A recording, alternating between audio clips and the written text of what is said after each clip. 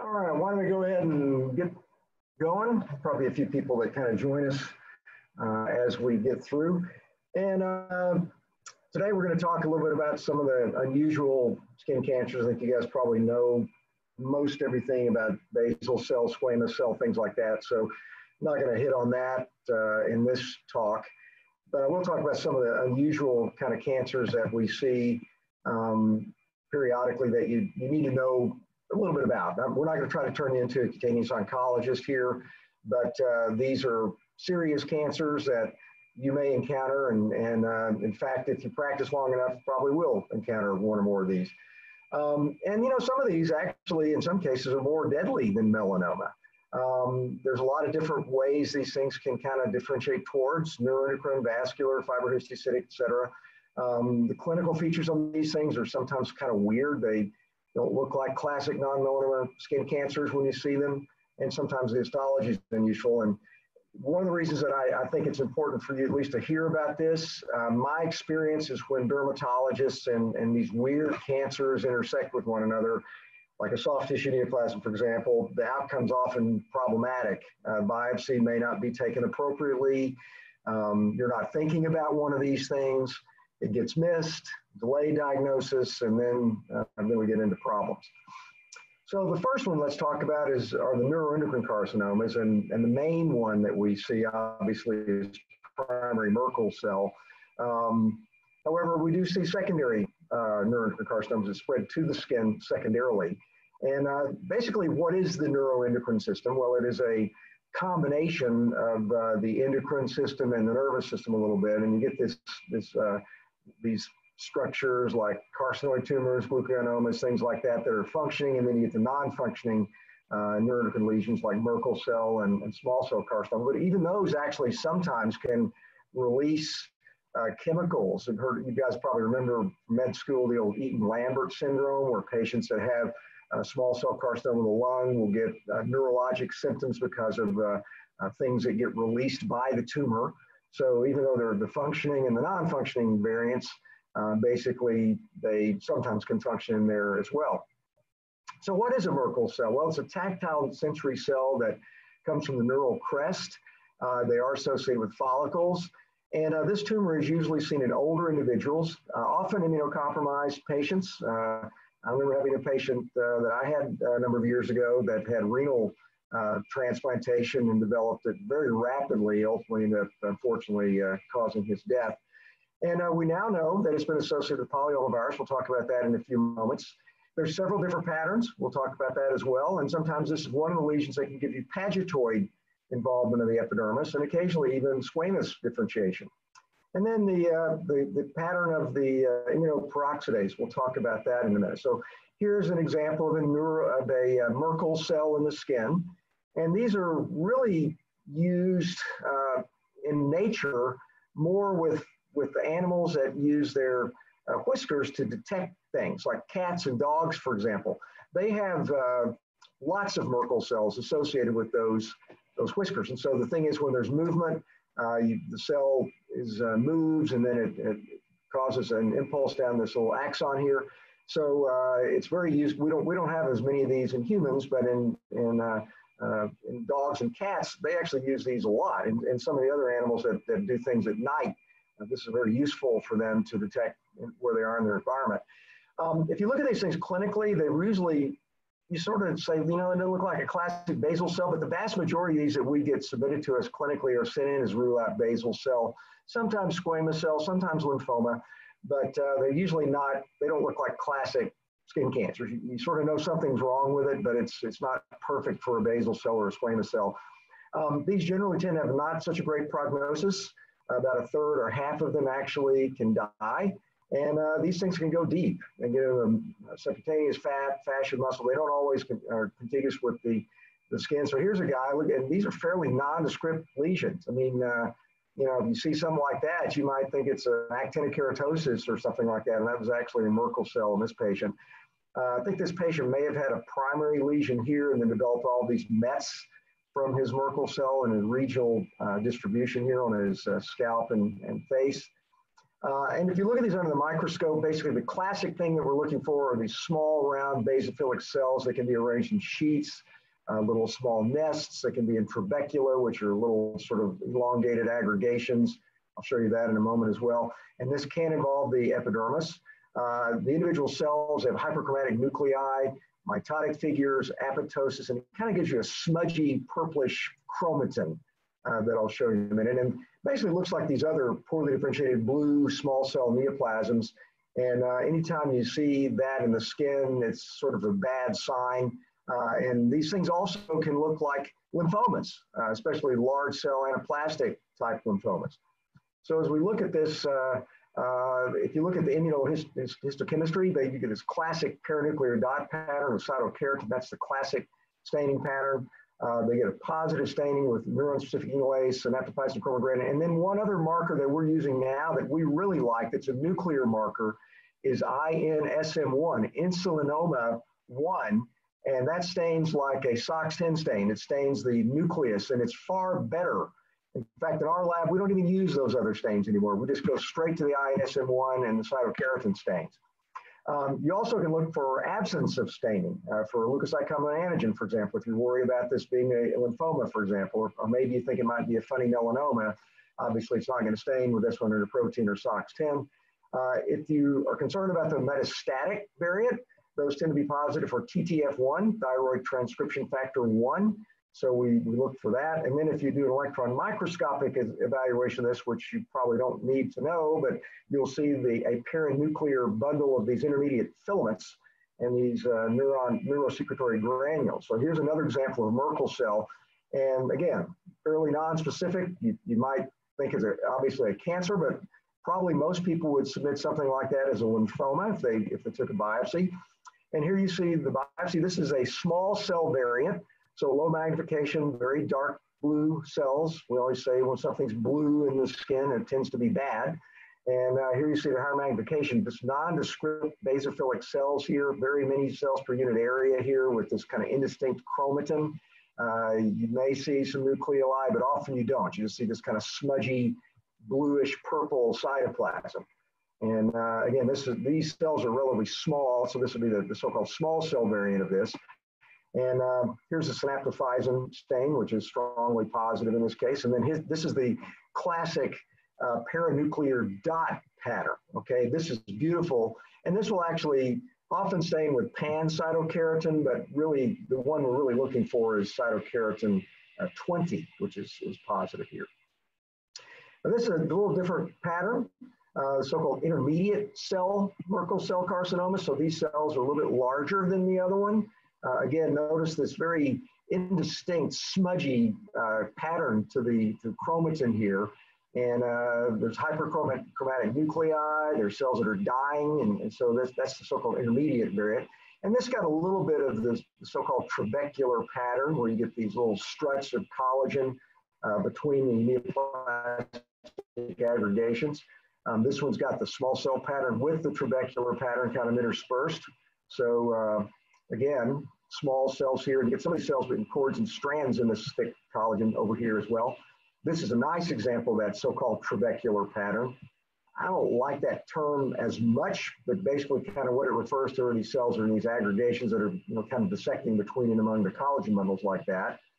And higher magnification pretty much looks like what we've seen before. Here's cytokeratin 20 with that paranuclear dot pattern. So this is, is typical board fodder. I mean, they kind of expect every resident in the world to know this. So make sure you know that neuroendocrine carcinoma, Merkel cell carcinoma, paranuclear dot pattern with cytokeratin 20. So make sure you know that. Very important. Another example, again, to show you some of the clinical features, these things can be pretty subtle.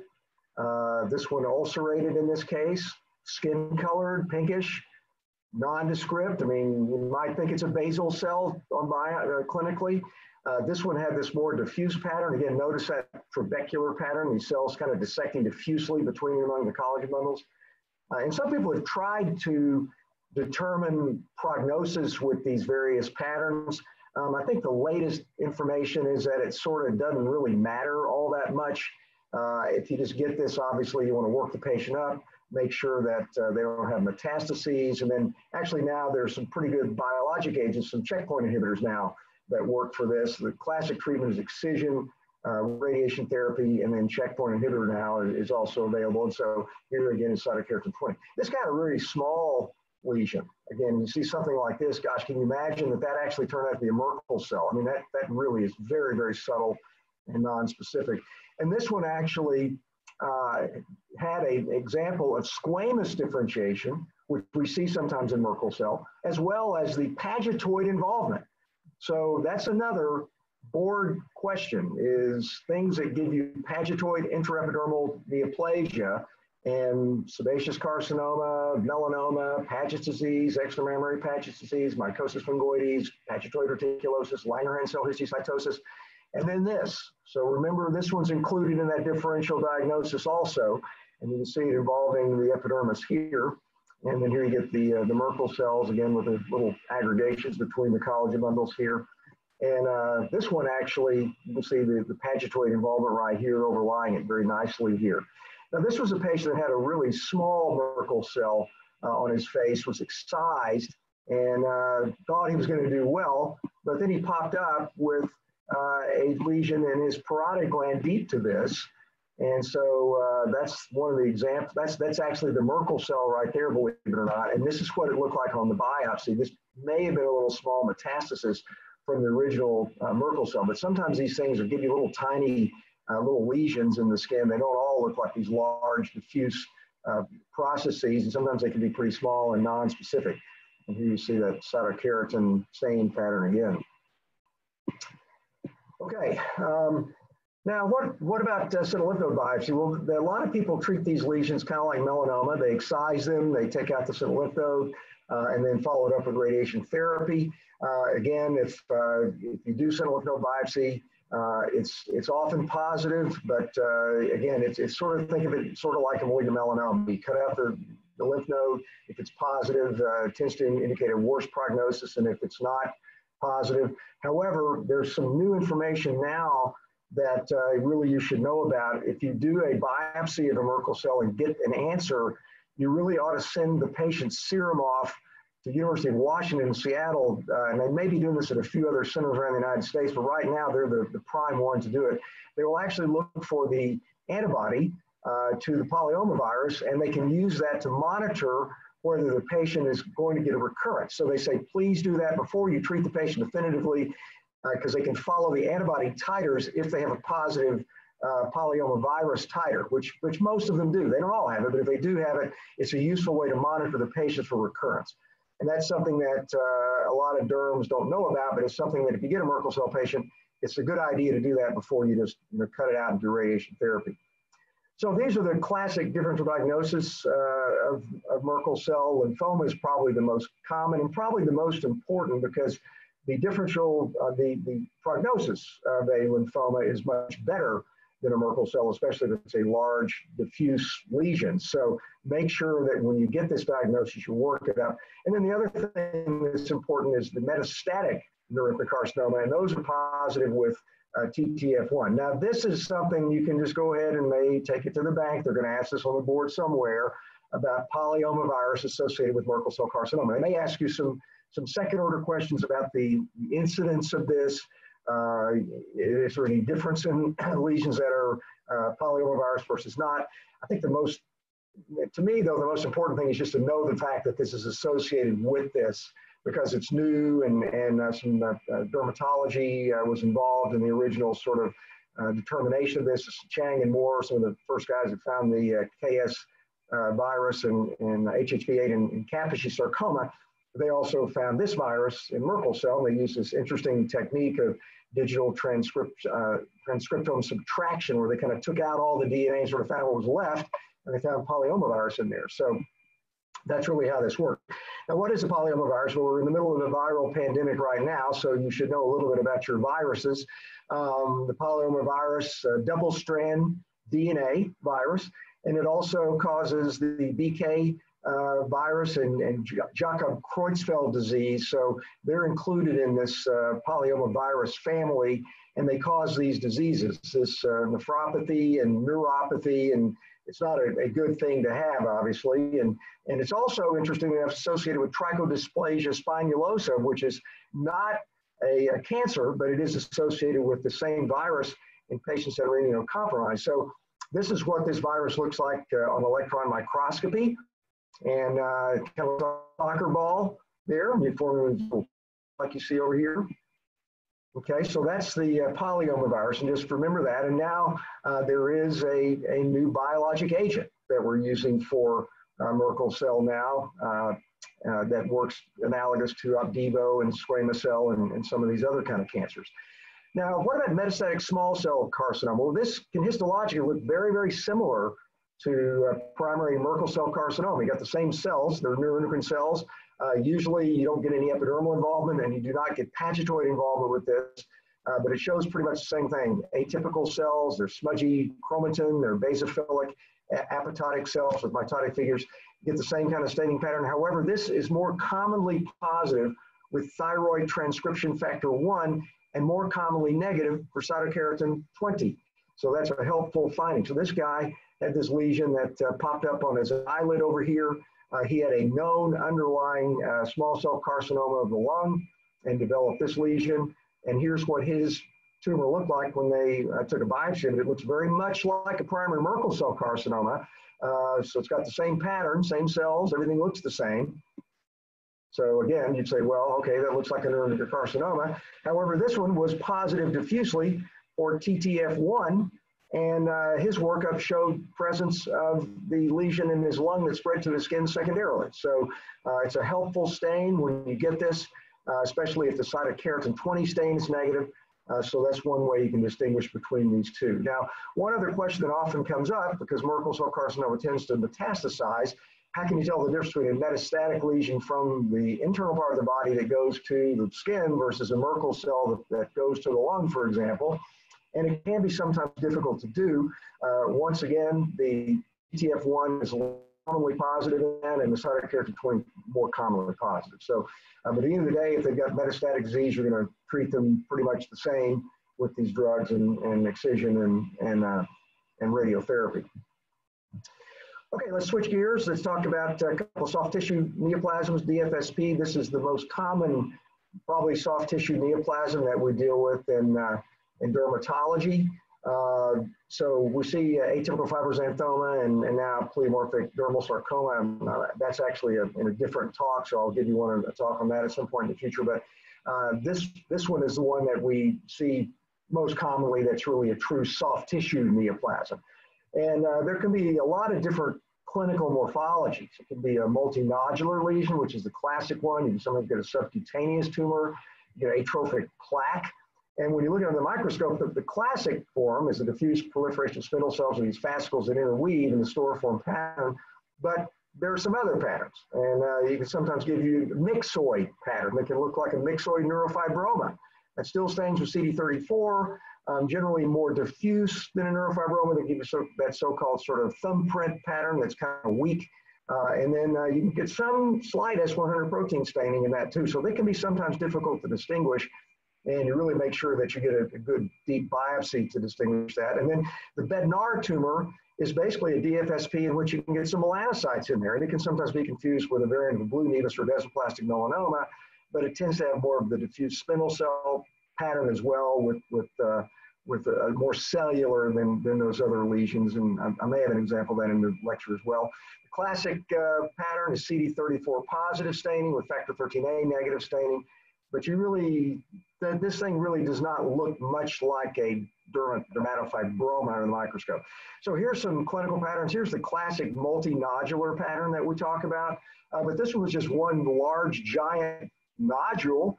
Um, this was in a baby and had this little small little plaque here that's kind of atrophic. And this person had had it for a long time, developed this atrophic plaque that looked like an anetoderma.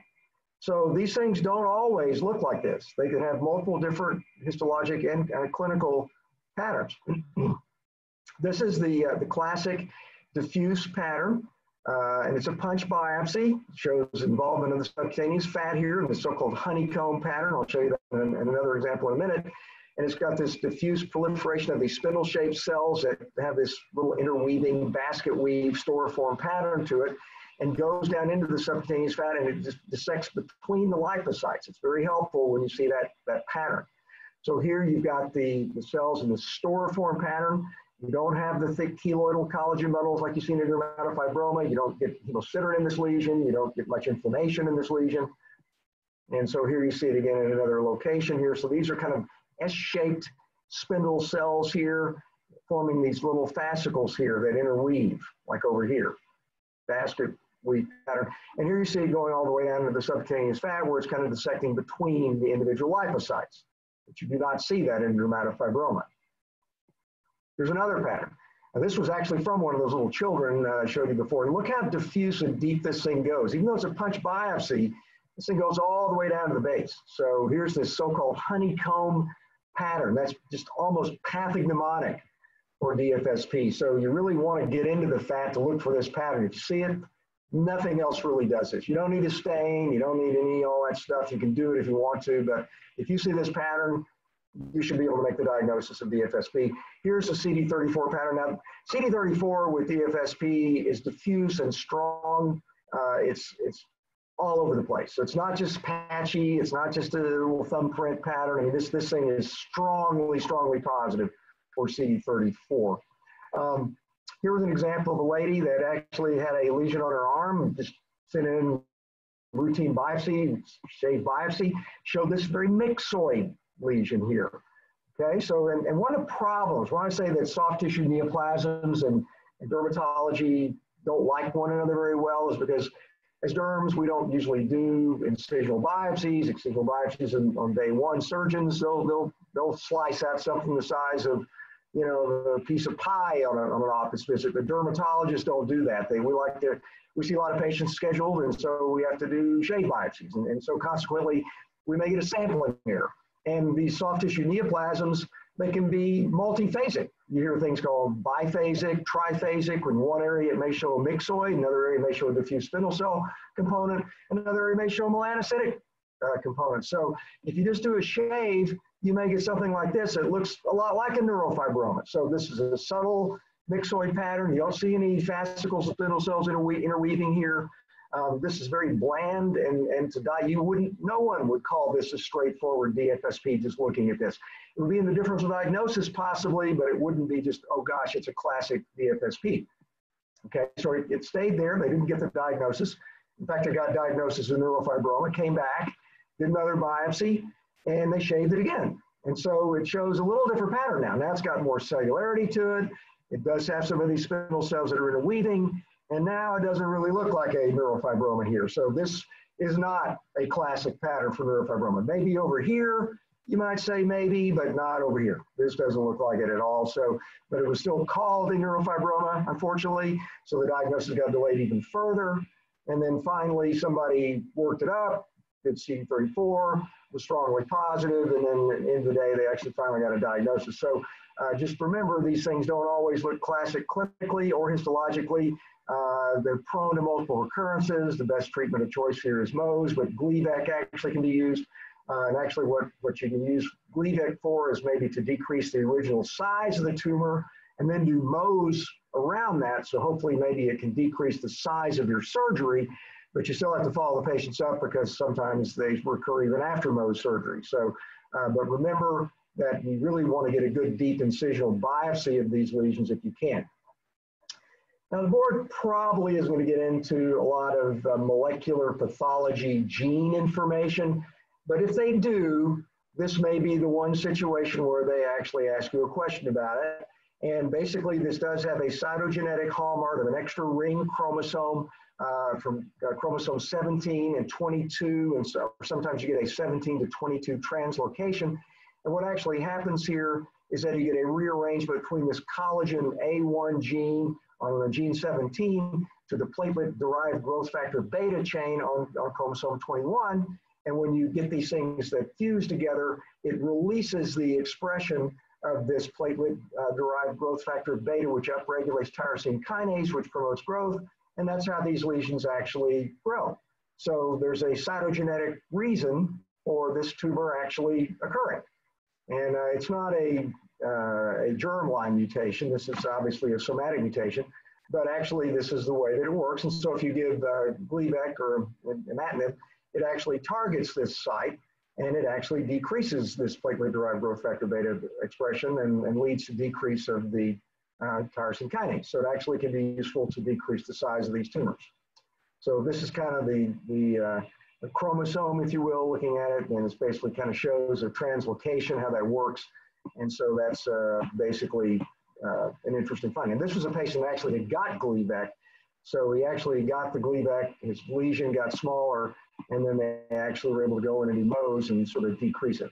So this, I've got this slide in here. You can look at it if you want to, but I really don't think you're going to get too terribly many questions about this. If you do, the only other one that you probably ought to at least know about maybe briefly is this uh, clear cell soft part sarcoma, which a lot of people think is a, a variant of a uh, malignant melanoma. Has a Ewing sarcoma uh, gene abnormality here, translocation. So that's probably the only other one that you really need to know. Um, but I would know briefly at least a little bit about this uh, collagen A uh, translocation and uh, with the tyrosine kinase in um, DFSP.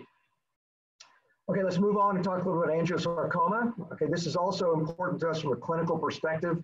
And, and this, you're probably going to get a question or two about this on the board because it's important to know about. Um, there's really two main types that we see in dermatology. The most common is the purpuric black ugly looking lesion on somebody's face or scalp of an older person. Uh, you can get other variants, however, uh, nodules, ulcerated lesions, and then you can get the Stewart-Treves variant that's due to lymphedema. Uh, often uh, somebody, let's say maybe a lady's had uh, breast surgery. Uh, in the old days, they get the radical mastectomy, they get lymphedema in their arm, and they get a Stewart-Treves angiosarcoma usually on the arm in that situation. So again, these are the most common variants. You can actually get uh, radiation can induce these, uh, relatively uncommon, but can happen. And then uh, histologically, you can sometimes see epithelioid angiosarcoma. We'll talk about a couple of those.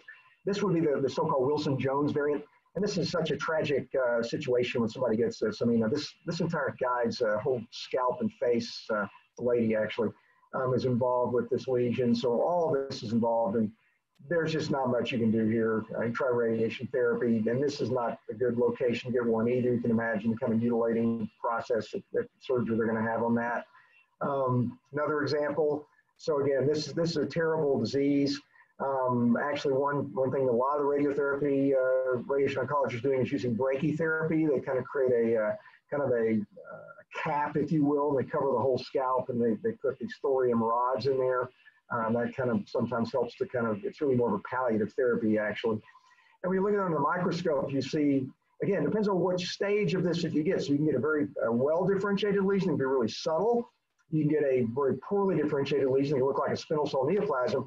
But the classic form is you see the diffuse proliferation of these staghorn irregular blood vessels that have these large atypical endothelial cells that are falling freely into the space of these vessels. And they're atypical with mitotic figures and whatnot. So I'll show you some examples of those in a minute. Uh, positive staining with, with these markers, CD31, CD34. Uh, there's another marker that's new now, ERG, ERG. I don't know if they'll ask you that or not, probably not, but at least be aware of it. And then sometimes these can look like some of the other vascular neoplasms. I don't generally find these to be too tough to tell under the microscope. So again, let's take a look at, at some examples of these. Probably the one that's the most serious, the most dangerous of all because it gets misdiagnosed is the well-differentiated angiosarcoma. So here, we've got a shave biopsy. Once again, um, shave biopsy plus soft tissue neoplasm, bad outcome, and I've seen misdiagnoses on this multiple times where a derm does a shave on it and it's an angiosarcoma and they send it in as rule out melanoma or rule out uh, granuloma, and it doesn't get diagnosed as an angiosarcoma because they don't really get the most obvious diagnostic areas. If you see a well-differentiated angiosarcoma, I mean, look at this. It's got these very small blood vessels here. They're not strikingly atypical. There's too many per unit area, and they're irregular in size and shape. So you really have to have a high index of suspicion. This doesn't have a lot of the atypical endothelial cells, doesn't have the cells falling into the lumen that I'll show you in a minute. So thank goodness there was a guardian angel looking over the shoulder of the dermatologist that took the biopsy that this was suspected as being an angiosarcoma. And if we, if I saw this, I would probably not just call it straightforward angiosarcoma. I would probably say something like atypical vascular proliferation, and I would recommend another biopsy. So I'd make you go back and take a deep incisional biopsy here. We don't want to uh, basically give someone a, a horrible diagnosis on a small biopsy like this. So, so we want to correlate this with clinical and make you take another deeper biopsy. You know, so this is this is one that shave is, is not a good technique to do. So here's another example. So just look how subtle this is. Very, very difficult. So you're you're prone to make a mistake on something like this on a shave biopsy. So it's just, it can be, it's, it's a, a dangerous situation here. So it, it is cancer. Mean, there's an atypical cell right there. And we would, you know, in retrospect, yeah, this is a well-differentiated angiosarcoma, but would you make this diagnosis on a shave biopsy? It's probably really not medically reasonable to do it. You really want to get a more, more larger biopsy that proves it. Now, sometimes they become a little bit uh, more, so this is not a well differentiated, it's more of a moderately differentiated lesion, so we can still make the diagnosis. And this is what we like to see. Staghorn, irregular blood vessels, and notice this is a, an incisional biopsy. Good, large, deep incisional biopsy here. So when you're dealing with soft tissue, take out the knife and fork. You're gonna have to do a deep biopsy, large biopsy. So here we get the irregular staghorn blood vessels.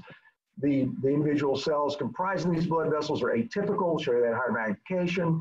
Uh, these are atypical endothelial cells way too many cells per unit area.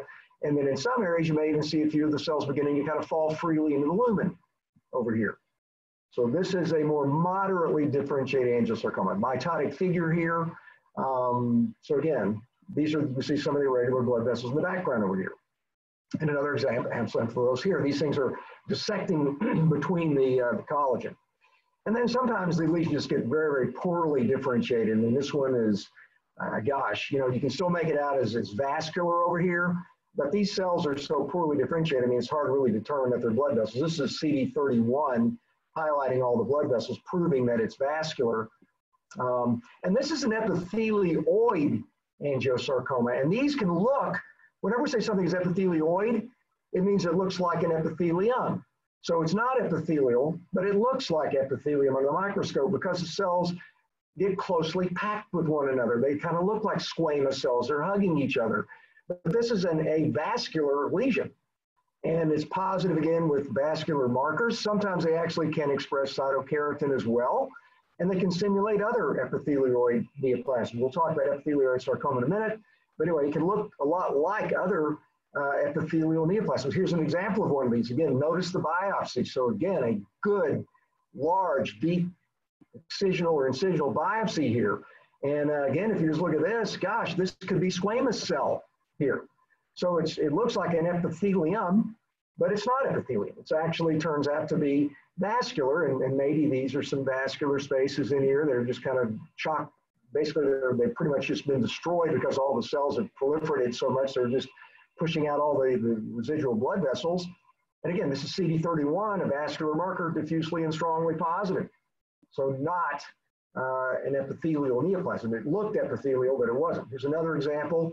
Again, nodule, the bruise-like morphology off to the side, which is a clue to the diagnosis.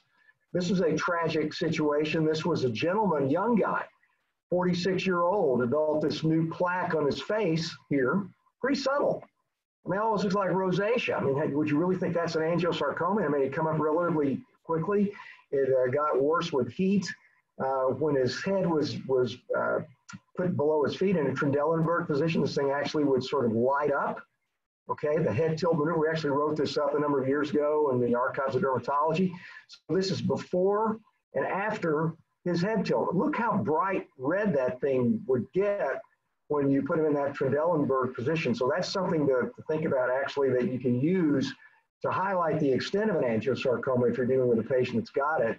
So anyway, they took multiple punch biopsies of this thing and here was the diagnosis. And you can see Um, it's got, again, these staghorn irregular blood vessels diffusely present uh, in his dermis here.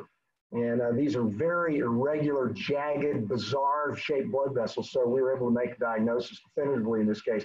And then this lesion at this point in time was still relatively well differentiated. So it hadn't really become more poorly differentiated yet.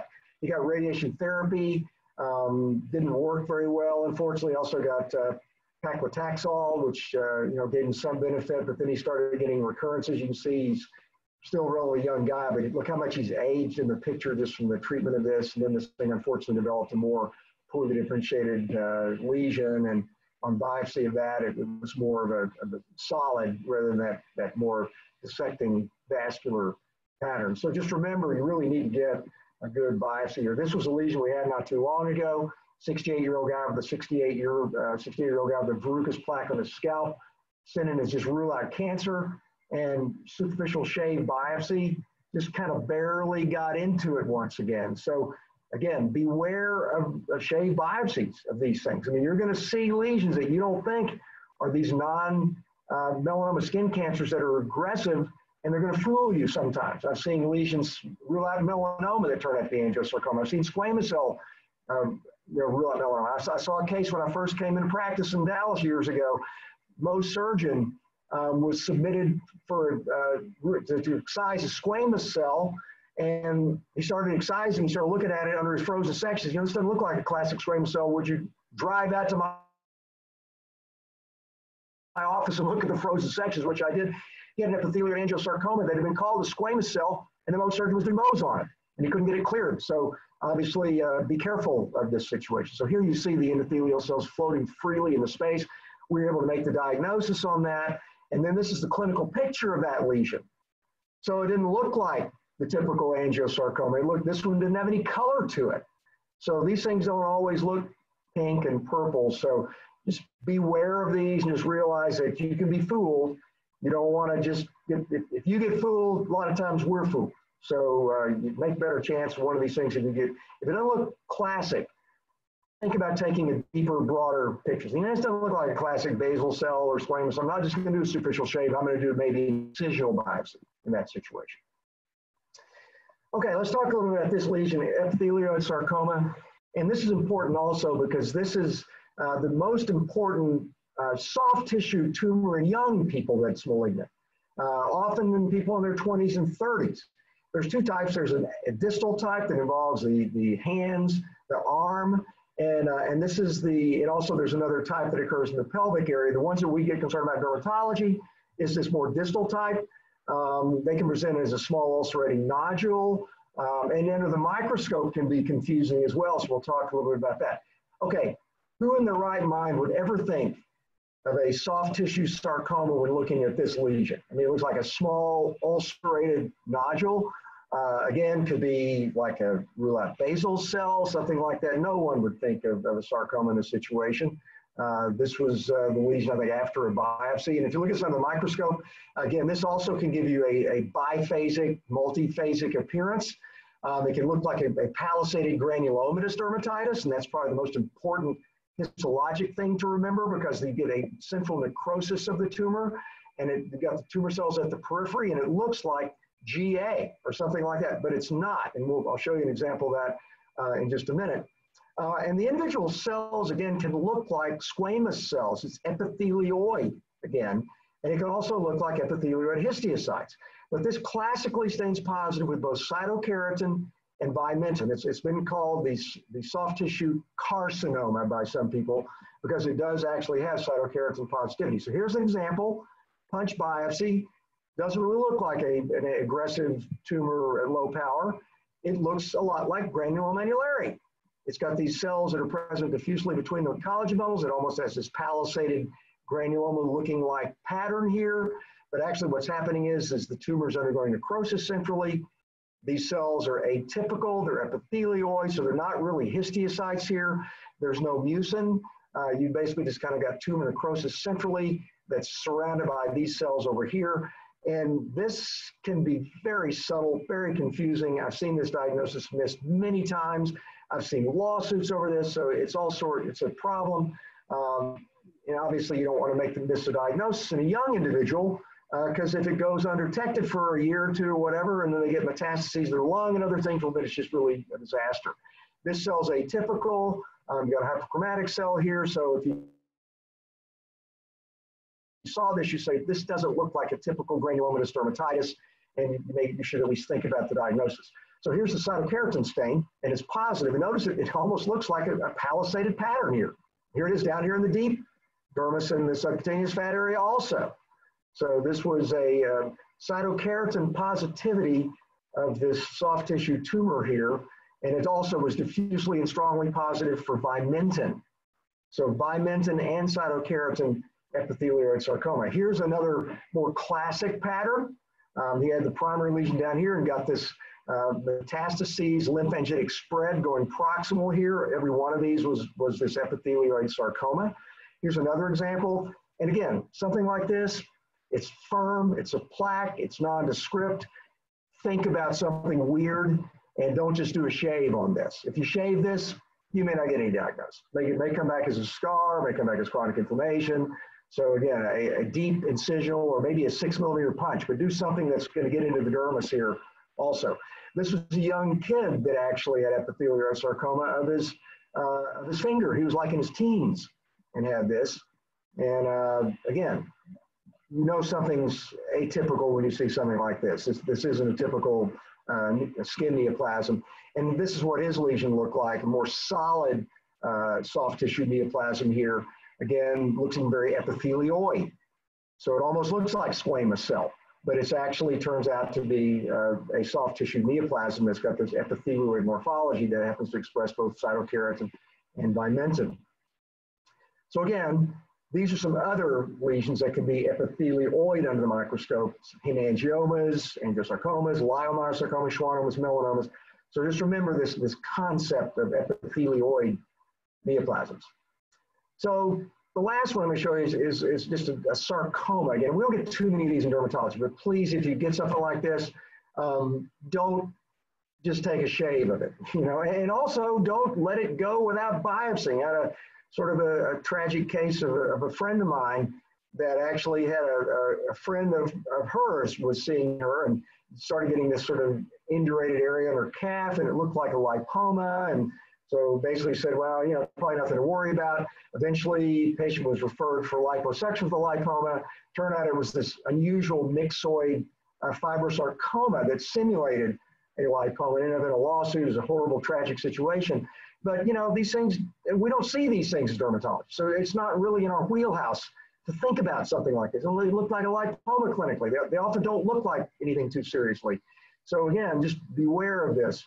Uh, this lesion you wouldn't think would be a liposarcoma. This, this thing obviously something's going on here. There's, there's all this induration, scar tissue and whatnot. This actually been previously biopsied and actually recurred at the site.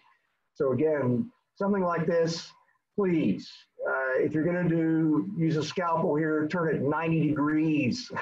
don't. This isn't a tangential type biopsy. You got to take something that's going to be like a wedge out of this thing. If you don't feel comfortable doing it, send them to a surgeon. You know, if, if you don't have time to do it, uh, just send it let somebody that that's that's that's they're, they're comfortable taking biopsies of this. So you do not want to do a shave biopsy on something like this. It's just not going to show you anything. And then sometimes remember the imaging. Um, we tend to forget about x-rays in dermatology, but uh, good rule of thumb, if you've got something like this, take an imaging study before you do the biopsy. Get a sense for how deep it goes. Um, say, hey, you know, uh, I'm going to need to take a, a, big, deep incisional biopsy to get into this, this thing. Uh, and same thing with nail unit biopsies. Take an x-ray there before you do a nail unit biopsy. That's very helpful and give you an idea before what's, what's going on. If you look at this under the microscope, it classically shows a spindle cell neoplasm with variable pleomorphism, and sometimes the pleomorphism can be kind of subtle in this lesion. It isn't always just strikingly atypical with very atypical cells. Um, often it is, but it doesn't have to be. And once again, these things can be multiphasic. So you need a deep biopsy to look for different areas. So here's an example. You can see it's a deep six millimeter punch probably, or four millimeter punch. So we got deep into the lesion. I'd rather have a punch than a shave, obviously. If you did a shave at the top, it's not gonna show anything. But down here, you said all this myxoid morphology. Now, things that are blue in derm tend to be bad.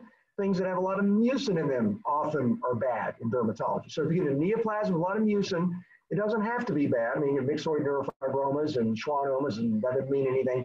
You get cutaneous myxomas.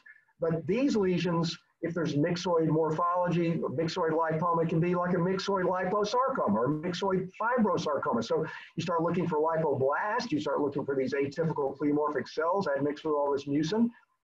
And so this is one of the reasons that we like to get a deeper biopsy because we're looking for architecture, not just cytology.